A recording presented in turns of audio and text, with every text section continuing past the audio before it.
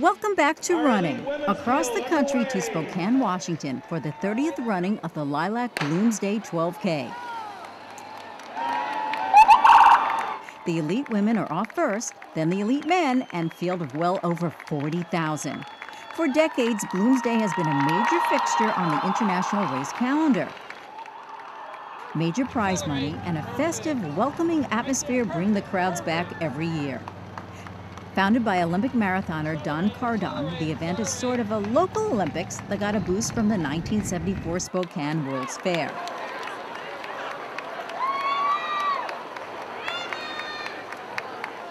Leading early, Australian Benita Johnson and Olympic medalist Isabella Ochichi, both with recent top performances. Both first time Bloomsday runners. Lots of hills in Bloomsday. First, the downhills and 19 year old Charles Kiami leads the field that includes several top internationalists.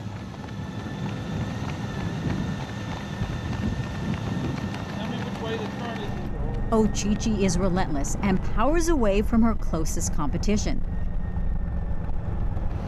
Finally, number 101, the tall Gilbert Okari makes his presence known. Also in the pack is number 108, Matt Downin of New Jersey, the New York Road Runners Runner of the Year. Eight time wheelchair winner Saul Mendoza does what he does best drop the field going up Doomsday Hill. If anyone is going to beat Mendoza, it's going to be on this hill.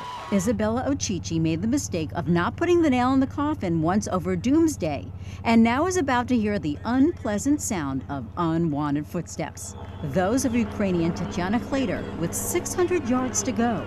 Ochichi is a 5K specialist, so if she has anything left, she will need it very soon.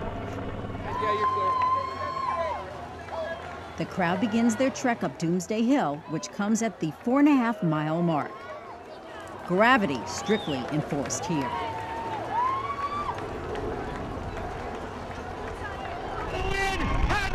Ochichi, Ochichi, Ochichi, Ochichi, Ochichi, way to go, women! Beautiful race. Ochichi finds a gear that Hladyr doesn't have and wins in her first try at Bloomsday. She misses the event record by seven seconds. Near the top of Doomsday Hill, the crowds provide good company for Gilbert Okari, but Charles Kiami will not give in to the king and stays close. Okari's carburetor is wide open.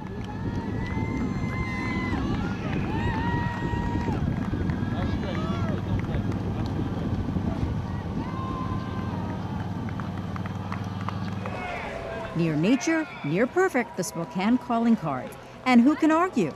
The Spokane River winds its way towards the Columbia River and then on towards the Pacific Ocean. Here, the outdoor lifestyle is celebrated 12 months a year. Gilbert Okari has too many weapons and drops Charles Kiami to take the Bloomsday victory.